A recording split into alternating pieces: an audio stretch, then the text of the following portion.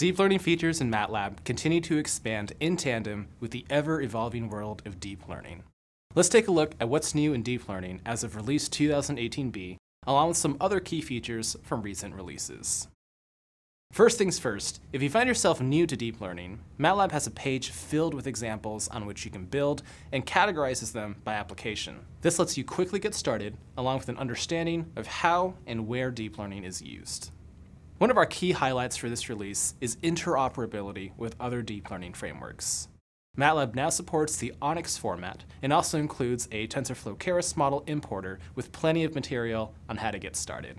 This enables you to leverage the latest models in other frameworks and use MATLAB for data access, preprocessing, and code generation, all of which you'll learn about right now. Image Data Store provides the foundation for importing and handling large collections of data into one convenient repository. Let's introduce a few new data stores that build on it. Patch Image Data Store extracts random image patches to split up large images for deep learning workflows. Pixel Label Data Store conveniently stores pixel information for semantic segmentation data.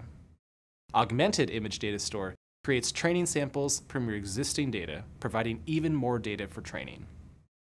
And if you have something else in mind, you can create a custom data store to handle specific tasks like sequence or time series data.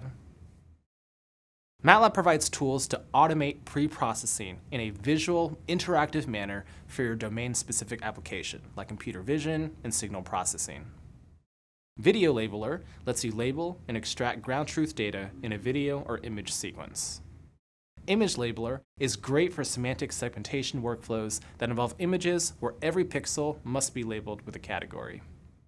And for audio data, use Audio Labeler, where you can define ground truth by drawing directly on the waveform. You can continue to work in this visual, interactive manner even when building your network. The Deep Network Designer app lets you build, edit, visualize, and find issues with your deep learning networks. You can import pre-trained networks or build entirely new ones. Finally, when you're satisfied with your network, you can deploy it into the real world and enjoy superior performance for inference. MATLAB Coder and GPU Coder enable automated deployment to hardware, including NVIDIA Jetson and Drive, along with new deep learning optimizations. To stay updated with the latest deep learning features, check out the links below and reach out to us if you have any questions or feedback.